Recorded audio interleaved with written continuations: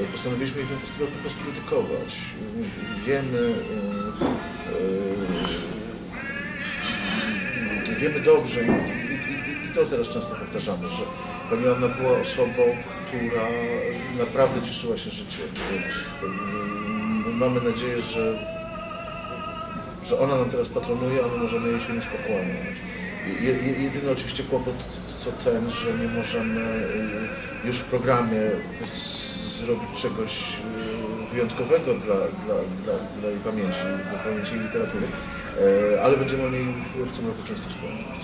Zresztą to, tak było od początku. Znaczy, myśmy nawet może nie w najlepszej, w nie w najlepszej formie, ale trafili y, znacząco do autobiografii, jako festiwal kryminalny do autobiografii pani Anny Chmielewskiej sprzed lat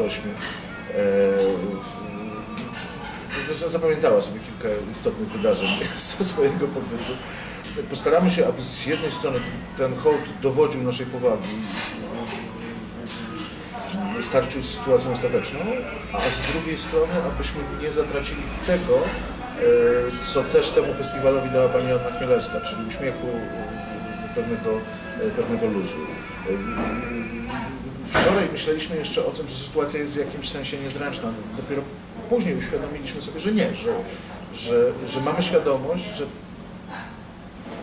ten patron, czy ta osoba, która e, w tym roku przez rzecz straszną, ale jednak stanie się głównym tematem rozmów, e, pewnie, pewnie wiesz, kuluarowych i, i, i towarzyskich e, w czasie, w czasie festiwalu, życzyłby sobie, aby mm, tak naprawdę niewiele się zmieniło w tym, jak podchodzimy do, do, do festiwalu kryminalnego.